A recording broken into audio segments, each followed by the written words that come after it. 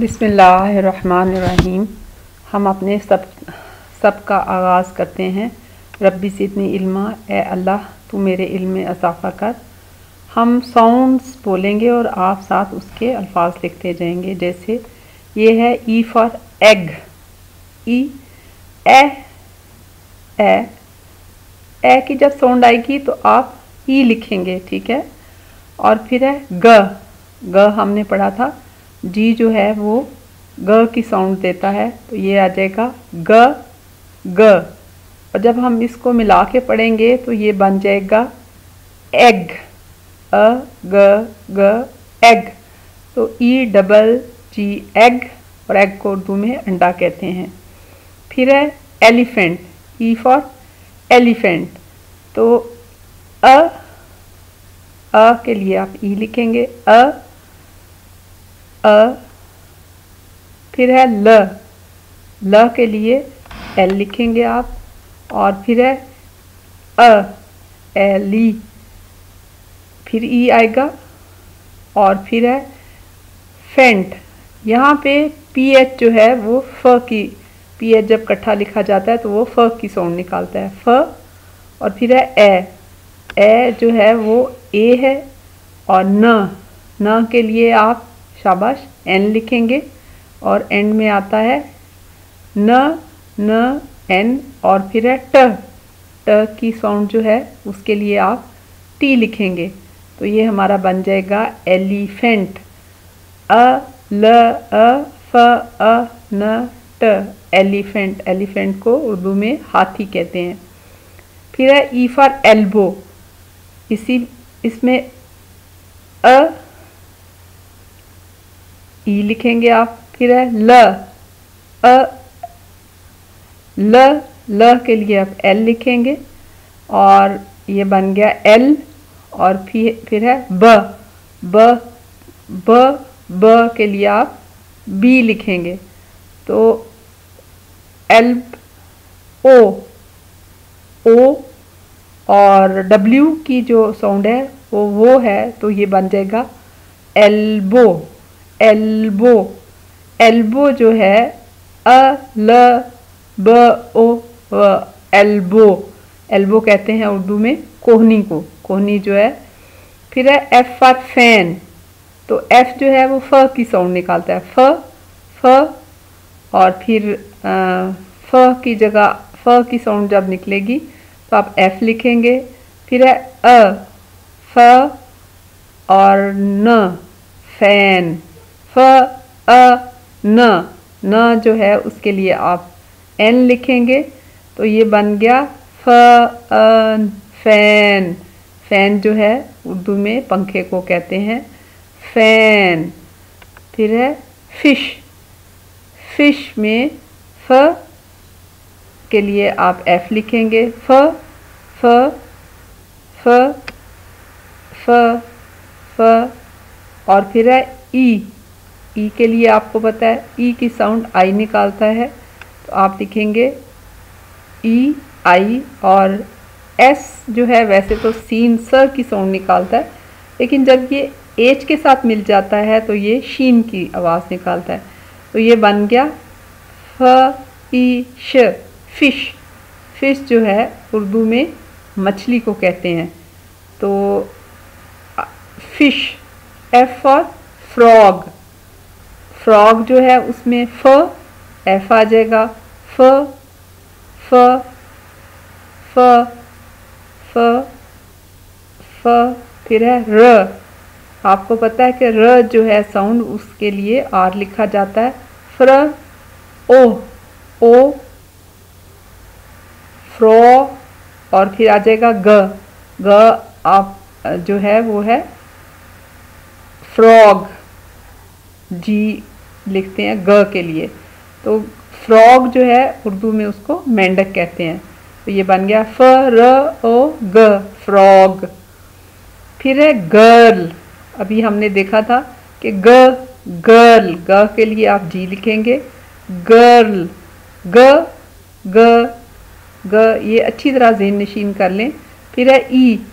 ई के लिए आई लिखा जाता है। और फिर आ जाएगा र र र, आप इनको लिखें भी और जहन नशीन भी करें कि जहाँ र की साउंड आएगी, वहाँ आर आएगा और फिर ल ल के जगह लाम आएगा तो ये बन जाएगा गर्ल। ग, ई, र, ल, गर्ल। गर्ल कहते हैं उर्दू में लड़की को। फिर है जी फॉर गेट। ग, ए, ट, ई। गेट, ग ग के लिए आप जी लिखेंगे, ए के लिए ए लिखेंगे और ट ट के लिए शाबाश टी लिखेंगे और फिर ए गेट, ग, अ, त, ए गेट गेट उर्दू में भी गेट को, बड़े दरवाजे को गेट ही हम लोग कहते हैं, उर्दू ज़बान में भी। फिर है जी फॉर गोट ग ओ ए ट गोट ग। ग के लिए शाबाश, आपने जी लिखा। ग ओ के लिए ओ आएगा ओ ओ ओ और ए ए के लिए शाबाश, आप अल्फ़ाबेट ए लिखेंगे और ट ट के लिए टी लिखेंगे। तो ये बन गया गोट। गोट। गोट उर्दू में कहते हैं बकरी को। फिर है हैट। हैट जो है वो ह से स्टार्ट होता है। ह ह के लिए एच आएगा। ह ह ह ह, फिर है ए ए के लिए शाबाश आपने ए लिखा, और फिर है ट। ट के लिए आप टी लिखेंगे, ट। तो ये बन जाएगा हैट हैट हैट उर्दू में कहते हैं टोपी को। फिर है हॉर्स एच फॉर हॉर्स ह ह के लिए एच की साउंड निकलेगी ओ ह ह अब जहाँ पे भी ह की साउंड आएगी, आप एच लिखेंगे। ओ ओ और फिर आएगा र र र जो है, उसके लिए आप आर लिखेंगे। और स स के लिए स की साउंड के लिए एस लिखेंगे। स और ए, इसको जब हम मिला के पढ़ेंगे तो ये बन जाएगा हॉर्स ह, अ, र, स, ए हॉर्स हॉर्स उर्दू में कहते हैं घोड़े को। फिर है हेन हेन हेन हेन में आ जाएगा ह. ह के लिए आप एज लिखेंगे। ह ह ह, ए ए ए, और फिर आ जाएगा न न न न, और इन सबको जब हम मिला के पढ़ेंगे तो बन जाएगा हैन हैन हैन हैन कहते हैं मुर्गी को। फिर है इंसेक्ट इंसेक्ट तो इन ई ई के लिए आई लफ्ज़ इस्तेमाल होता है अल्फ़ाबेट आप लिखेंगे आई, ई, न। फिर वही अल्फाज बार बार रिपीट होते हैं। ये बन गया इन और फिर है स। स के लिए आप एस लिखेंगे और फिर है ए, इन से और फिर है क। क जो है वो हमने पहले भी पढ़ा था। कि सी क की साउंड निकालता है और ट ये बन गया। जब हम इन सबको मिलाएँगे तो ये बन जाएगा इनसेक्ट इनसेक्ट इनसेक्ट इंसेक्ट कहते हैं कीड़े को। फिर हम आई से शुरू होता है इंक ई न क इंक तो ई जो है उसके लिए हमने आई लिखा ई ई फिर हम न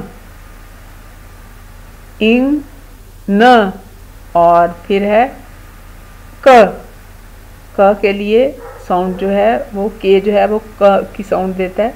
तो ये बन जाएगा, इनको मिलाएँगे तो बन जाएगा इंक इंक इंक इंक और आपको पता है कि इंक रोशनाई को कहते हैं, फिर है ईगलू ईगलू ईगलू में वही आ जाएगा ई के लिए आप आई लिखेंगे ई और ग ईगलू ग के लिए ग, जी, ग की साउंड देता है।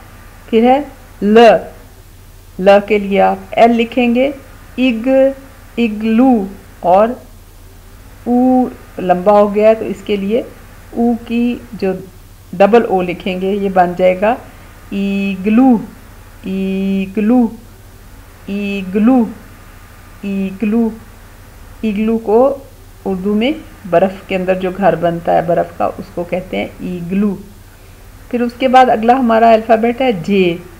जे जो है, ज की साउंड निकालता है, ज।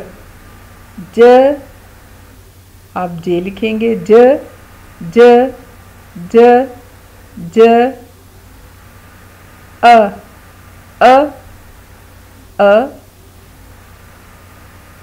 ई आई लिखेंगे आप ई और जब आ, वैसे तो सी जो है वो क की साउंड निकालता है लेकिन यहाँ पे सी और ई मिलके सीन की साउंड स की साउंड निकालते हैं। तो जब हम इन सबको मिला के पढ़ेंगे तो ये बन जाएगा जूस जूस जूस को उर्दू में भी जूसी कहते हैं। ज उ ई स जूस फिर है जे फॉर जैकेट अब इसमें भी आप देखें जैकेट में ज आएगा। ज फिर ए ज ज ज ज के लिए आप जे लिखेंगे। ए का आपको पता है कि ए लिखेंगे और फिर क यहाँ पे क पे ऊपर ज़ोर है तो इसलिए क क सी के दोनों आप लिखेंगे। क क क क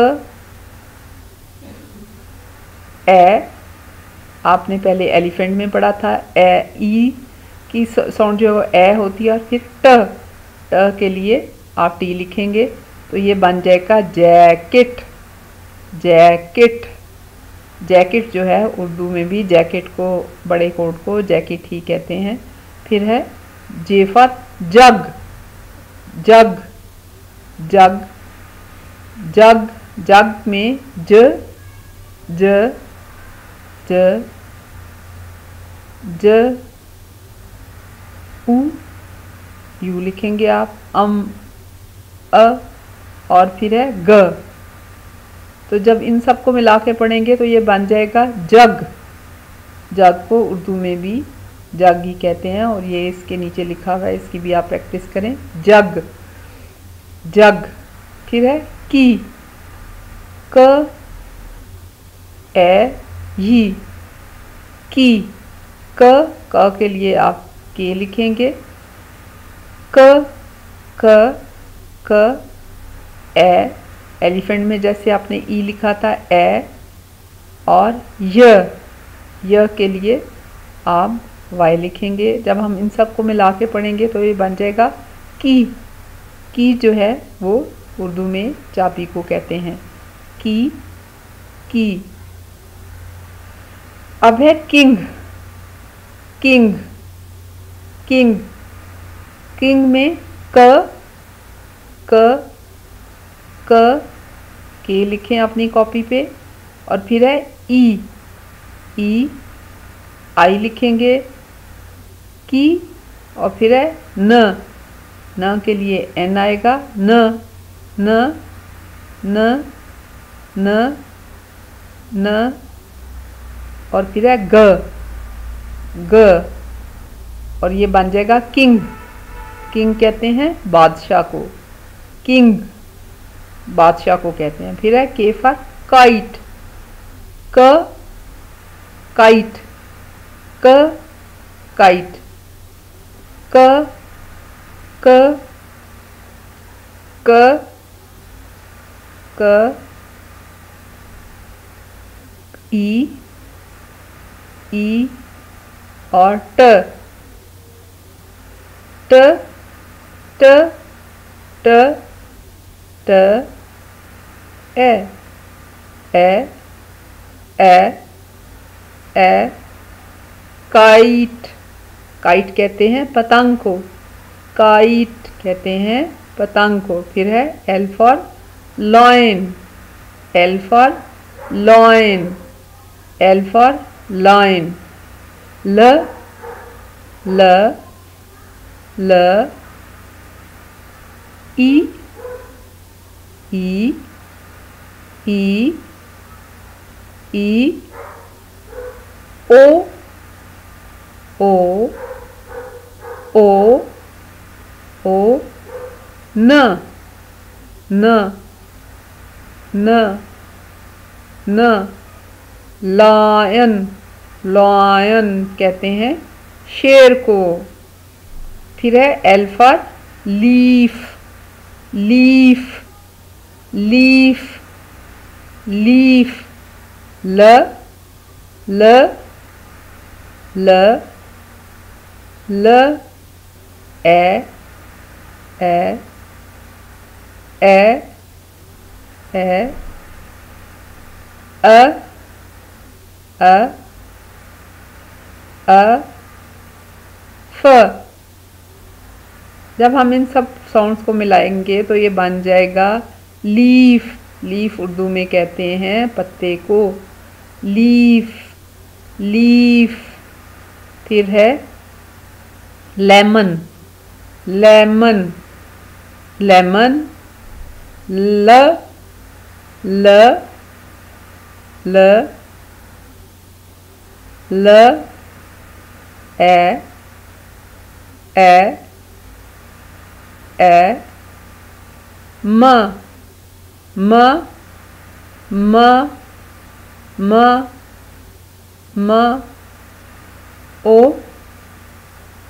o o न न। अब हम इन सब साउंड्स को मिलाएँगे तो ये बन जाएगा लेमन लेमन जो है, लीमू को कहते हैं लेमन लेमन फिर है हमारा M for mango mango mango म म म म। अ अ न न न न ग ग ग ग ओ ओ हम इन सब साउंड्स को मिलाएँगे तो बन जाएगा मैंगो मैंगो कहते हैं आम को। मैंगो, फिर है एम से मून मून मून मून शुरू होता है म से म म म म, उ, ओ ओ ओ ओ ओ ओ ओ न न, ये बन जाएगा मून मून मून कहते हैं चाँद को, रात को नज़र आता है आसमान पे, फिर है माउस माउस आपने सबने घरों में देखा होगा। माउस म म म म, ओ ओ उ उ उ स स स स ए ए तो ये बन जाएगा माउस माउस माउस कहते हैं उर्दू में चूहे को, माउस माउस अब ये आप तस्वीरें देख रहे हैं, इसमें मैंगो मून और माउस मैंगो मून माउस ये है cup cat cow cup cat cow dog duck and door ये है गोट गेट एंड गर्ल आप ग की लिखेंगे। फिर ये है की की जो है वो क से स्टार्ट होती है और यहाँ पे है ब, बैट बैट, ब और ये है फ़िश, फ फ से फ़िश, फ से फ़िश। लॉइन लॉइन और ये है हॉर्स, ह हॉर्स ह हॉर्स और ये है ज जैकेट जैकेट जैकेट